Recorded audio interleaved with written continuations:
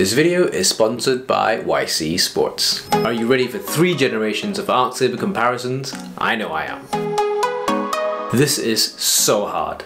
It's hard because the Arc Saber 10 has been my favourite racket for about a decade now. I started with it when it first launched in 2008 and 100% remember the day when I broke my first Arc Saber and I had to shed a tear for that guy. The rest is history. You all that follow my channel closely will know that I've only swapped over to the Astrox 88D Pro in the second half of last year, so it certainly has been a while.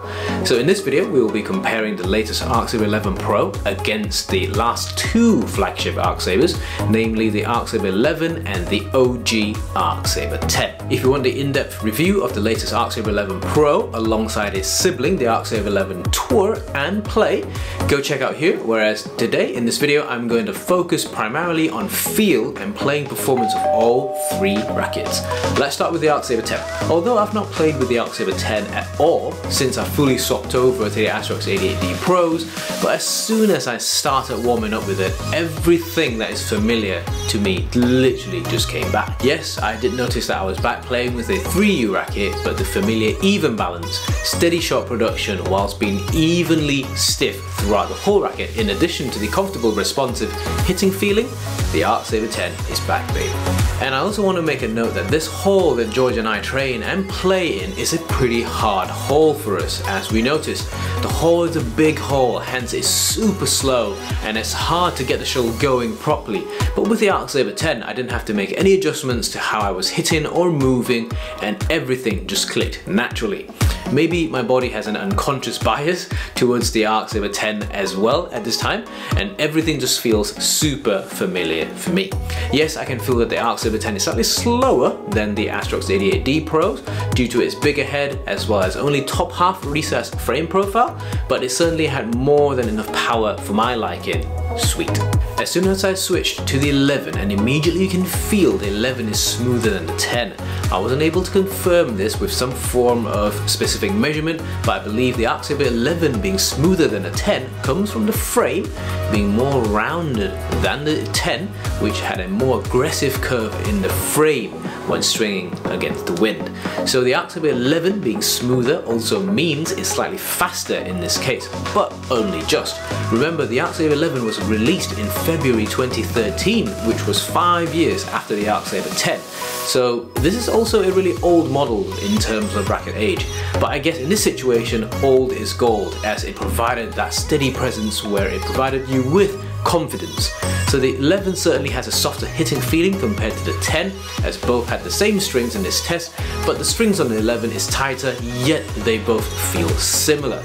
This is actually down to the increased hold time present in the Arc Saber 11 compared to the 10 which had more repulsion to it. So back when the Arc Saber 11 was released something new back then which was called the T-Anchor was incorporated into the racket then and it's still retained in the latest generation of Arc Saber 11 Pro 9 years later. This shows how good an effect it had on the racket itself.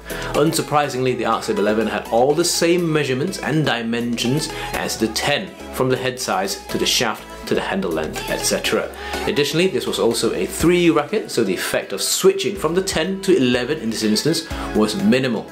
As this was a bottle racket, Thanks Ian by the way. The grips were done differently than how I would normally do mine. I'm someone who really likes to feel the ridges of the wooden handle and I was struggling to get my width correctly on court as the Boros Arc Saber 11 had multiple layers of grips on, making it round but super comfy.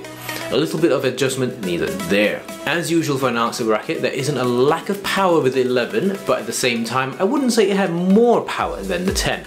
Both had a very similar amount of power, just the Arc 11 feels softer and smoother.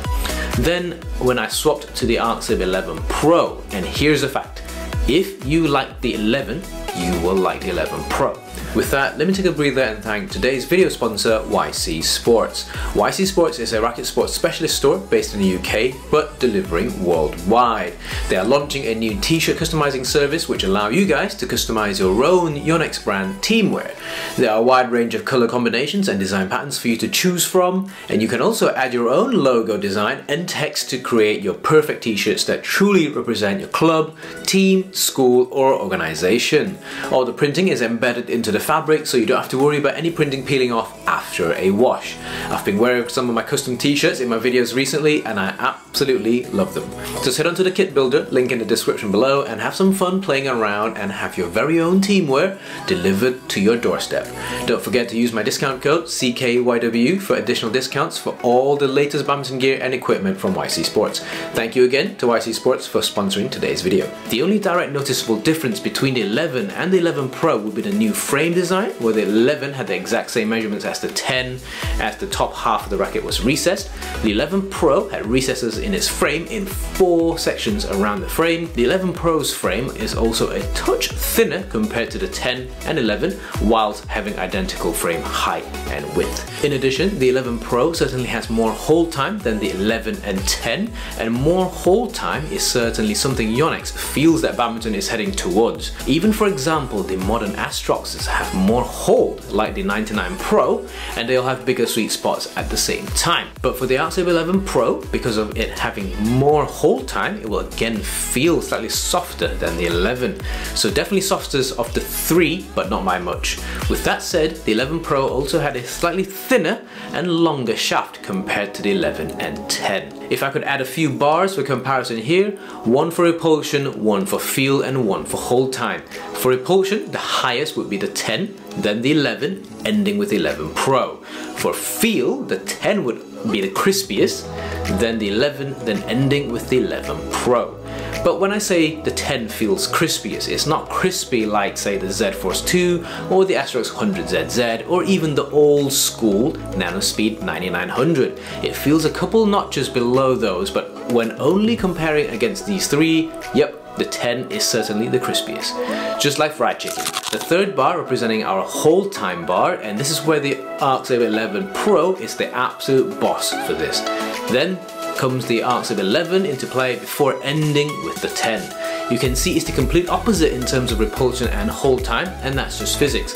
If you want something to sit in with that trampling effect, it's going to absorb more energy before releasing it again, hence feeling softer. Physics. With the hold time of the Saber 11 Pro, you can certainly feel the shuttle biting onto the string, especially if you're an aerobite lover like me. Additionally, I also feel that the more relaxed you are with the Arc Saber 11 Pro, the more you will get out of this racket. Don't force it, it will come to you.